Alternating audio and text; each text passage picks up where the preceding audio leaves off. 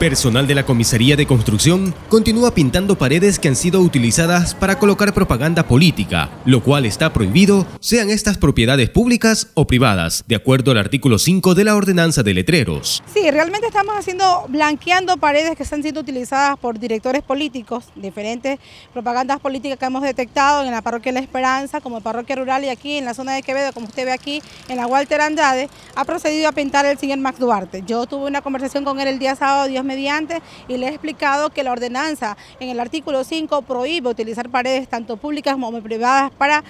ser utilizadas en campaña política. Entonces, una vez que comience el proceso de elecciones, es verdad, la, Dirección de Planeamiento Urbano a través del municipio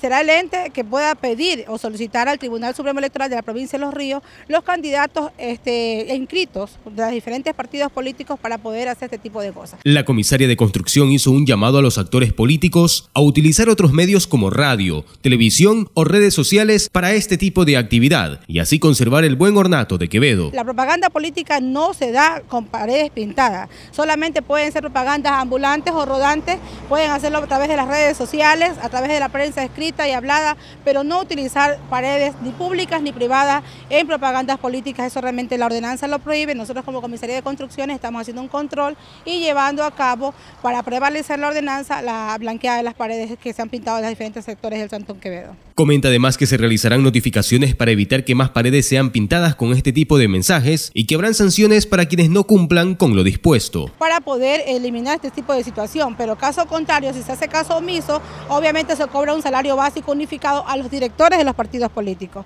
Que quede bien claro y en caso de edificaciones le será dos salarios básicos unificados, no solamente uno.